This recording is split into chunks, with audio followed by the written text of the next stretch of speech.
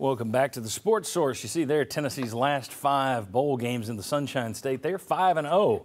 They have not lost in the state of Florida during a bowl game, of course. They've lost at the Swamp a few times, but haven't lost in a bowl game in the state of Florida since 2007 when I keep going every time there's a bowl loss, it's Penn State. Penn State beat them in the 07 Outback Bowl, but since then they've beaten Wisconsin, Iowa, Northwestern, Indiana, and of course last year they won the Orange Bowl against Clemson. This Citrus Bowl fact brought to you by Safety Systems. Call VFL JJ Surlis and his team today to install or upgrade the security system in your home or at your business. All right, what is the game plan, Bob Hodge?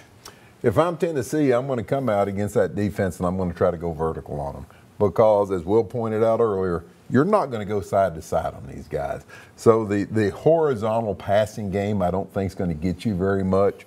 Um, from what I've been told by people who follow Iowa, they are a great tackling defense. So you're not going to get that. Oh, he slipped a couple of tackles and made seven, eight yards Again, on a only, pass behind line of scrimmage. Yeah, only eight plays all, all year of 30 yeah. yards or more, which speaks so, to great tackling. So, so I am going to try to beat them over the top. Hopefully, I do have a speed advantage, which I don't think Tennessee is particularly fast on offense. So that would be my game plan. Come out and try to go vertical. My, my game plan is not to make Nico a drop back passer and let him do what he does. Uh, I'm going to get him out some. I'm, I'm going to. This is a game I think the tight ends can be his security blanket against a Big Ten defense like that. We saw in the Ole Miss game against Penn State, the wide receivers did not have a catch until a minute in the fourth quarter. Your tight end is the guy on some of the quick stuff and some of the delay stuff that you can get. Three and out is not a terrible thing against this defense. And I, and you and obviously, John, your big thing turnovers. You got to take care of the ball, but let Nico get out of the pocket, even if he's just working a third of the field, and make some of those throws and get in rhythm. I, I, think it's tempo. I think you go tempo, yeah. tempo, tempo, tempo, and if it doesn't work the first three drives and we were only on the field for 35 seconds, you can't panic and get out of that. I think if you're Josh Heupel, stick with what got you there. At some point in time, they'll make a mistake somewhere. You don't need a ton of points to win this game. I also think the place where you attack Iowa's defense is middle of the field, 8 to 10, 12 yards. You're probably not going deep middle, but you can hit them in the middle of the field if you can get some crossing routes, tight end down the seam, things like that, like Chuck was talking about. To me, that's how you attack this defense. And I don't think they're good enough to take advantage of your defense being gassed offensively. At times this year, there were times, lots of times this year, where it didn't look like they trusted Joe Milton throw that ball over the middle. Yep. Yeah. Will they trust a true freshman to go out there and throw the ball over the middle at all. I told you uh, last week if Milton were playing, I would just take advantage of his huge arm. You know, that's the thing. You're going to need if you hit a couple. Yeah. yeah. Throw ten deep balls. If you hit two, you win. Yeah. Against this this offense that you're going on the other side of the field, I think you win uh, because they're going to be able to put 14, 20 points on you in theory. I'm worried though about doing that with Nico. Now Iowa doesn't have a great pass rush. Tennessee will show you here later, maybe in this segment, we'll show you that uh, Iowa's pass rush not as good as Tennessee's. But still, Tennessee's offensive line's a little shaky, a little, a little mixed up this week. It's not the same guys you've seen all year. I'm a little leery of asking him, as Chuck said, do, do I want to make him the deep ball drop back guy? I probably would stick with that because that's what I was going to. That's the shots I was going to try and take with Milton. But it does change my attitude. Milton is a hoss. If he gets hit, that's one thing. Nico is a stick.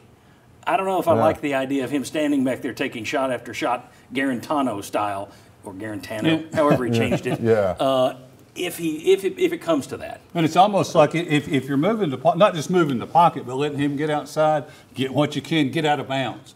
Get out of bounds and get down. Don't be going down the middle of the field trying to take on some of Their middle linebacker has like 155 tackles. Iowa's Higgins is his last name. He's a stud, man. You want to you want to use your speed, and I think Tennessee can hit him on some slants and some of that same stuff. Keyton has got to step up.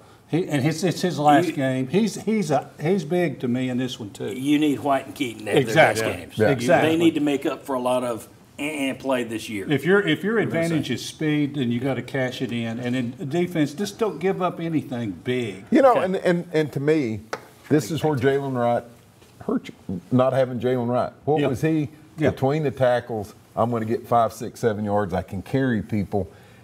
I always cringed a little bit when they tried to use Dylan Sampson we in that talking role. about that. So now is the freshman the guy that you bring in, and we're going to try to run it right at him between the tackles? Can you sprint out Dylan Sampson like you did early in the year and maybe beat those linebackers? Their linebacking corps has more tackles than any other linebacking corps in the nation. Iowa does it. You mentioned that, Chuck. So that's part of it to me is how do I get them where in space, my speed versus their guys who are technically great. You're probably not running well between the tackles. You're going to have to do it enough to keep them honest, but try to beat them with things to the outside. Kind of what Texas did to Alabama a little bit, I think, as well, where receiver goes deep, wheel ride underneath it, and try to catch their linebackers in coverage. Okay, let me take. Uh, let me show you some areas where it could be a hidden edge in this game. We mentioned a few of these things earlier. On the year, Iowa number five in the nation in terms of penalty yardage, only 30 yards a game against them. Tennessee number 130 out of 133, 40 yards difference. All right, you want to help out their offense? Give them free yardage. So the penalty thing is one thing to watch. I mentioned this earlier. Tennessee much better in the turnover game, but now you got two freshmen. They're going to be handling the ball more. Does that even out here? But Tennessee is you know plus seven compared to Iowa, plus three and minus four, so they're plus seven over Iowa on the year. Punt returns. Tennessee much better in the return game, much much better in the returns uh, coverage game. Is there an edge there? Could could Tennessee make a play in the punt game that makes a difference here? And then I mentioned the sacks. Tennessee more sacks than Iowa, fewer sacks allowed than Iowa. All things to watch. When we come back, more hidden keys, intangibles. What other things could matter in this game? We'll discuss that, and then we'll get into our predictions, and we'll tell you what the spread's been doing. It's been moving. Come on back on the Sports Source.